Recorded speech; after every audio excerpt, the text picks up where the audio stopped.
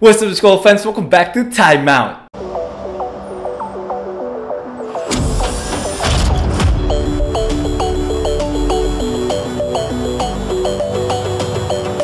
Balik bareng gue Ricky Padilla, kita kembali lagi ke Info Basket Harian edisi 10 Februari 2022 Time Out Gang, jujur li, hari ini bikin time out hanya untuk ngomongin Lakers aja. Karena tadi sebenarnya gue mau tidur siang sih, tapi akhirnya gue gak jadi tidur siang. Supaya kalian ketahui nanti malam kita akan live chat untuk trade deadline NBA Gue mungkin akan mulai setengah 10 karena gue uh, baru akan selesai ngedit setengah 9 Baru ya pesen Pizza Hut juga, kita harus pick it up.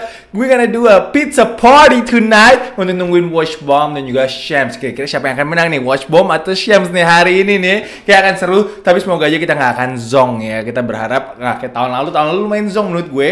Um, tapi gue berharap tahun ini akan ada trade besar yang bisa aja mengubah peta kekuatan NBA.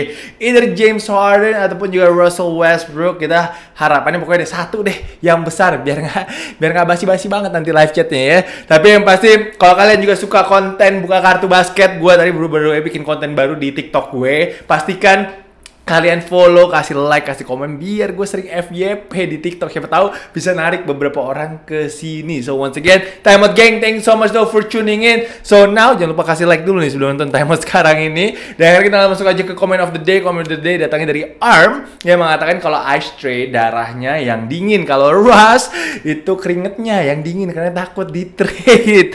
Uh, ya yeah, Russ, gue nggak tahu ya foto kemarin lagi nenangin LeBron sama AD apakah itu akan jadi foto terakhir dia bersama sama AD dan juga LeBron. Kita tunggu aja hari ini. Gue juga penasaran apakah uh, Lakers akan merombak timnya atau tidak. So once again, thank you so much to Arm untuk komentarnya. Of course, thank you so much semuanya kemarin sudah meninggalkan komentar-komentar yang banyak sih, yang sangat menarik dan juga sangat lucu uh, juga. So I really appreciate everybody. So as you guys know, seperti biasa.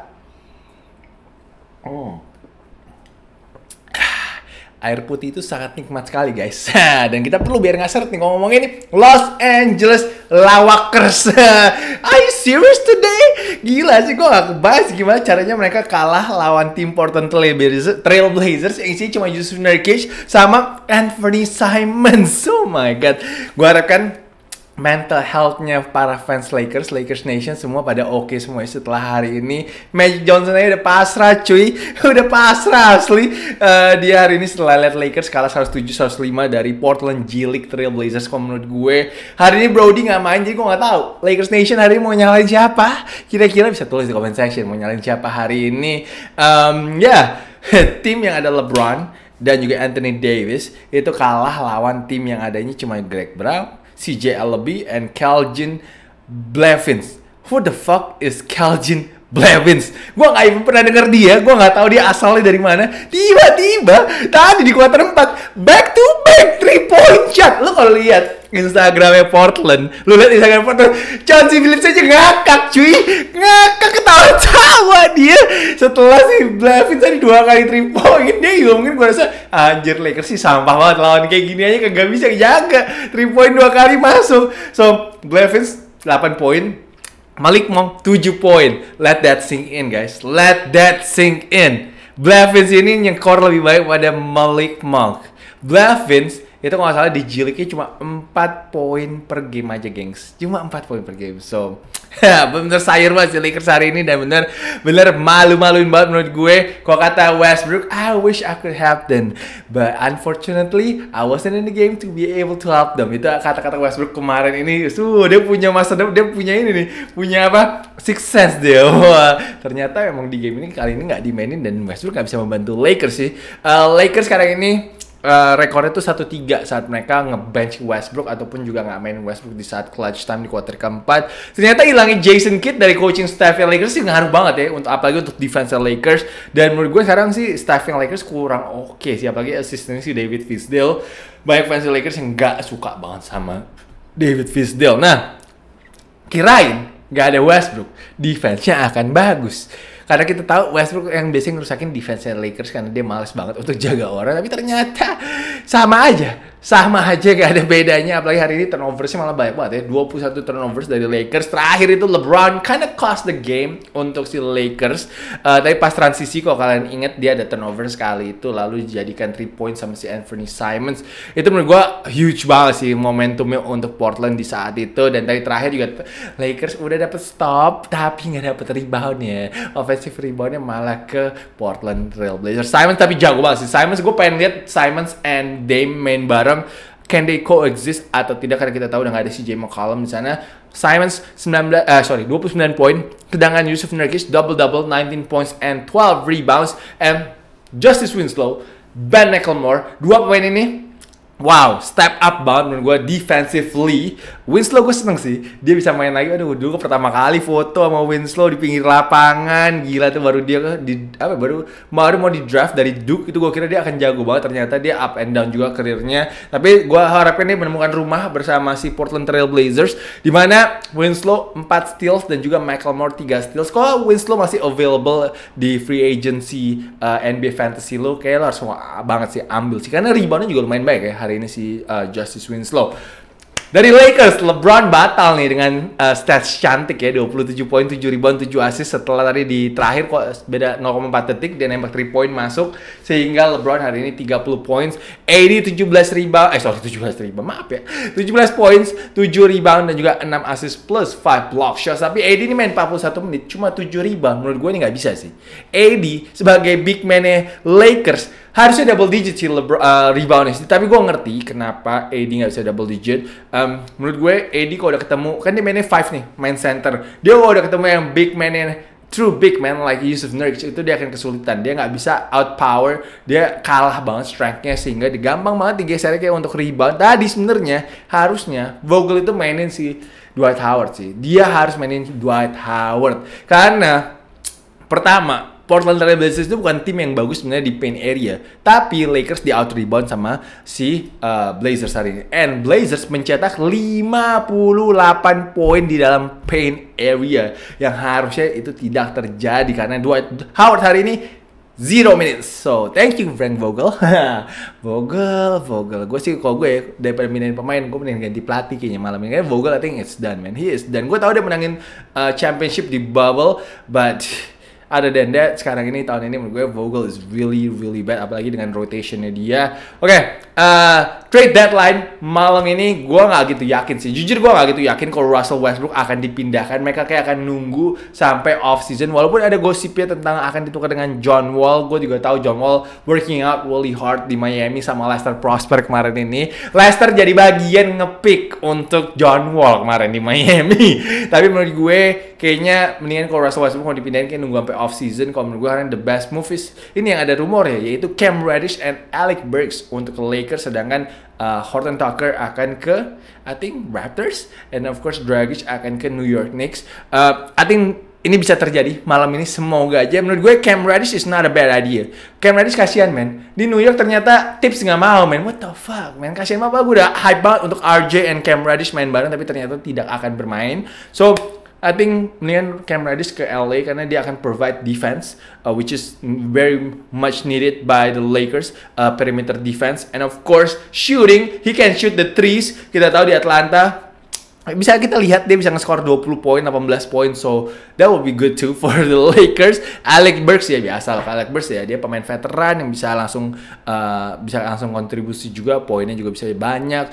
Uh, defense-nya not bad juga. So, I think this is a pretty good trade menurut gue untuk Los Angeles Lakers. Oke, okay, another game yang gue ingin bahas adalah of course Sacramento Kings. Ini actually not bad hari ini the, the new look Kings uh, hari ini ngalahin Timberwolves dengan skor 132-119. Kayaknya banyak fansnya Kings yang minta maaf hari ini. Banyak yang minta maaf. Mereka menelan lagi kata-katanya mereka tentang kalau ya timnya akan busuk aja sampai lama tapi ternyata Domantas Sabonis solid and he could help this franchise man. Orang lupa kalau Sabonis itu average-nya bisa triple double uh, very dominant big man. Um, ya 80% nya Jokic lah ya dia uh, And Fox hari ini 27 poin top scorer tapi Harrison Barnes dengan 30 poin anjing Harrison Barnes tiba-tiba nge-score ya jauh banget ya. Tapi Domas solid debut tuh 22 poin, 14 rebound, 5 assist, Golden One Center hari ini. Woo! Rocking. Gue udah lama banget gak lihat Golden One Center kayak gitu sih ramenya dan berisiknya sih. And finally mereka bisa lihat bisa lihat timnya main bagus lagi. Tadi ada yang bilang, "Oh my god, gue udah lama banget nonton Kings nggak having fun." Dan ini akhirnya terjadi lagi. And gue lihat gue nggak pernah lihat Iya seperti gue bilang, moodnya seorang sebuah fanbase itu berubah 24 dalam 24 jam totally 180 derajat. totally gue nggak pernah lihat seperti itu sih, cepet banget. And of course, uh, dari tulisannya Welcome to Hell Domas jadi Welcome to the new era of Fox and Ox. Wih, Ox ya siap banget sebutannya untuk Domas. Uh, langsung standing ovation juga tadi di lapangan and tapi energinya di Aaron Fox sih kelihatan beda banget ya. Dia semangat banget for this new beginning. Kelihatan lebih semangat, effortnya juga luar biasa, enjoy banget mainnya. Pundaknya mungkin udah gak terlalu berat ya, udah bisa di-share bebannya kepada Domantas Sabonis. Tapi Kings sebelum game ini mereka ranking 24 reboundnya dan setelah datengin Sabonis hari mereka reboundnya menang cuy 51-34 jadi ini bagus banget sih untuk prevent second chance opportunity untuk lawannya si uh, Sacramento Kings and Jeremy Lamb and Justin Holiday. Mereka Shootingnya masih B, Justin cuma 2 dari 11, sedangkan Jeremy Lamb 4 dari 11. Tapi menurut gue gerakannya mereka itu loh, uh, without the ball itu membantu banget untuk offensive flow-nya si Sacramento Kings. Katanya belum pernah tuh ada udah lama lah bukan yang belum pernah tapi udah lama lah mereka nggak punya wing yang bisa gerak seperti ini which is really good menurut gue uh, Justin look very happy tampaknya Justin gak senyum-senyum terus tadi. Um, tapi Justin hari ini 5 turnovers yang menurut gue ini kayaknya datang karena mereka belum bermain bareng aja sih lama sih. Ini this is his first game kayak belum familiar dan dengan teman-temannya dari itu kenapa dia sampai 5 turnovers. Tapi rasa optimis tinggi sih untuk uh, Sacramento Kings tapi semoga aja ini bukan hype game pertama aja. Jadi gue penasaran sih pengen lihat game berikutnya apakah mereka bisa menang lagi atau enggak. Oke, okay, Hornets makin nyungsep nih. Wah, six straight losses. Hari ini mereka kalah lagi at home dari Chicago Bulls dengan skor 121-109.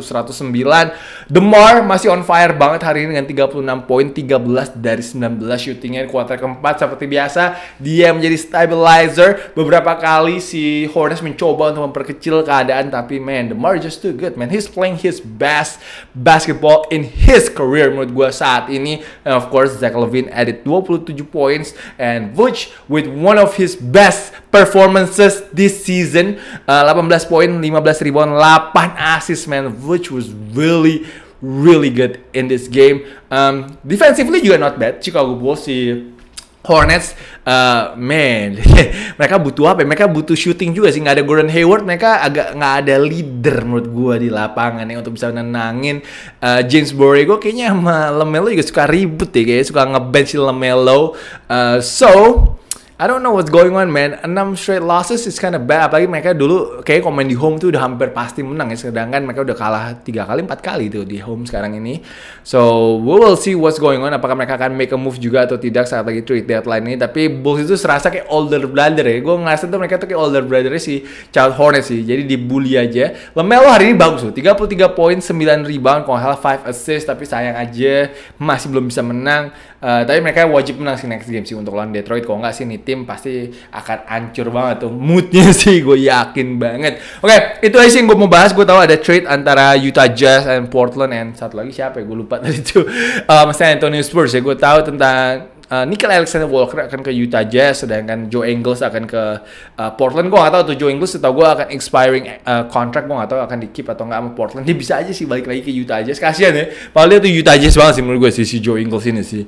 But I think Nickel Alexander Walker will be great untuk jadi backupnya si um, Mike Conley. I think uh, Nickel Alexander Walker juga bisa bantu shooting juga kan, uh, bagus juga. Man, that's a great pickup man. I think Utah just got a good young point guard in Nickel Alexander Walker. And of course tadi harinya juga Cleveland menang ya uh, lawan San Antonio Spurs. Tapi gue nggak sempat lihat tadi gamenya. Uh, Chris Lovert juga udah make his debut today. Oke, okay, masuk ke prediksi. Main rusak banget gara-gara Warriors. Gue diomelin sama Dap Nation man. Kata, kok Rocky sih milih Warriors sih jadi ngejinx deh. Padahal sih emang Warriors mainnya lagi jelek banget sih hari ini. Padahal tadi startnya bagus ya. Startnya 13-0 anjir. Gue langsung kayak, oh oke okay, boleh. Ini kayak on fire kayak hari ini. Abis itu sayur. sayur gila abis itu. Um, ya jadi untungnya tapi dua prediksi lagi di Discord uh, prediction gang bener. Jadi kita masih oke okay hari ini masih 2-1 rekornya. So we good. Uh, besok ada 7 pertandingan. Uh, tapi gue langsung pilih I like the Raptors tomorrow. Raptors bisa back to back. Gue andalan lah. Kalau back to back Raptors harus pilih Raptors sih. Uh, ini Raptors juga timnya no bullshit man. They are no bullshit team. Uh, besok mereka minus tujuh setengah lawan Rockets. So hopefully dibantai aja langsung dari awal. Seperti mereka membantai OKC hari ini. Tapi um, ya yeah, semoga sih itu terjadi. Semoga nggak ada letdown sama sekali. Uh, hoping si Gary Trent Jr. gonna be on fire and Pascal Siakam juga. So let's go Raptors. Good luck everybody. Oke okay, sekarang kita masuk ke top styles. Top styles Luka kemarin ini wah pakai NBA Jordan Zoom separate-nya dia. What do you guys think man? Gue sih kurang suka ya sama desainnya kayak boring gitu desainnya dan kayak agak aneh gitu. Tapi kayak gue nggak tahu kenapa gue dapet vibesnya Reebok gitu sih untuk si sepatunya Luka Doncic ini. And Man, I needed this LeBron 19 colorways, man. Ini di Jakarta kayak nggak ada deh, gue cari. Kayak yang gue naikin nggak ngeliat ini sih, tapi I don't know, I might be wrong. Tapi menurut gue keren banget sih kombinasinya, dan kayak kalau lagi dipakai jalan juga masih asik-asik aja sih. Oke, okay, sekarang kita masuk ke top place. Kita mulai dengan Darius Baseline yang melihat ada open lane. Gila, ini lompatnya tinggi loh. Ini kepalanya kayak di atas, sering loh menurut gue lu ngedangnya. Dan berikutnya Miles Bridges, man, dunking on two Chicago Bulls players ini gila sih. This is really nice dunk. And terakhir nih dunk of the night menurut gue sih Kelly Oubre dari baseline Fuchs gue nggak tahu dia mikir apa sih. Dia kira dia bisa block kali, tapi di dunk, poster dunk um, by Kelly Oubre, Tsunami Papi. So kita capek sekarang kita pindah ke Player of the Day. I'm gonna give it to Domatas bonus man yang mencetak 22 poin, 14 rebound, 5 assist. Saat ini di debutnya ini dia memberikan harapan baru untuk fansnya Sacramento Kings and that is why menurut gue dia cocok banget untuk jadi Player of the Day today. So itu dulu timeout geng untuk timeoutnya gue akan buru-buru edit. Udah 8.15 sekarang ini belum gue edit. Wah seberapa cepat gue bisa ngedit gue nggak tahu nih. Tapi thank you so much though for tuning in. And of course thank you so much. Time out has been amazing this last few days menurut gue even though gue uploadnya jam 11 malam jam 12 malam semua masih pada nonton. So I'm very thankful man. I'm very happy man. Really appreciate banget sih untuk supportnya dari kalian semua. Semoga aja kita bisa terus membuat time out semakin besar ke depannya. So once again thank you so much. Semangat time out gang. Jangan lupa untuk like jangan lupa untuk comment and I will see you guys again in like two hours. Peace out.